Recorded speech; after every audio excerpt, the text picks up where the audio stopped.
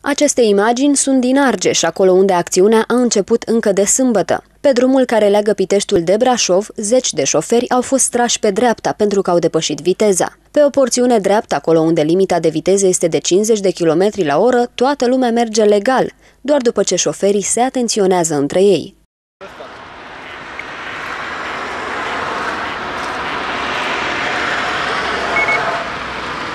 E în Bulgaria.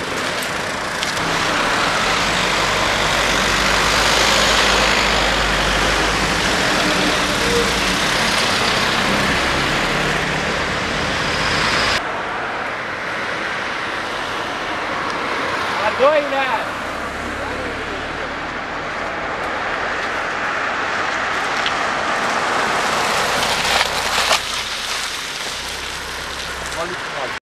Nu toată lumea ține cont însă de avertizările participanților la trafic. Spre exemplu, această femeie, cu un copil de 4 ani în mașină, fără a-i pune centura, circula cu 102 km la oră la volanul mașinii fiului ei, un autoturism înmatriculat în Bulgaria.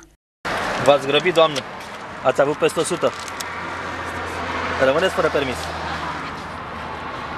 E prima dată, niciodată n-am depășit, să știți. Prima dată, niciodată n-am depășit. Niciodată. Niciodată de când. Vă grăbeați? Sunteți cu copilul în mașină? Să-i puneți centura. Dacă mergeți cu viteză. De unde sunteți?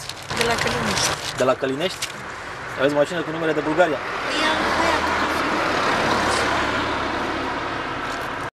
Femeia, de fel din localitatea Călinești, Argeș, va mai putea circula 15 zile, după care altcineva o va duce acolo unde are treabă, pentru că permisul i-a fost suspendat. Chiar dacă ar putea face contestație, nu ar avea nicio șansă, pentru că a fost filmată cu pistolul radar, un aparat performant, nedetectabil de antiradar, care nu dă erori și care măsoară viteza de la o distanță de circa 1200 de metri. Polițiștii au vizat în acest weekend nu numai șoferii vitezomani, ci și pe cei care nu acordă prioritate la trecerile de pietoni și pe cei care fac ilegal transport de persoane. Pentru aceștia din urmă, legea este foarte aspră, sancțiunea fiind de retragerea certificatului și a plăcuțelor de înmatriculare ale mașinii pe o perioadă de șase luni, dar și o amendă de la 1000 la 5000 de lei.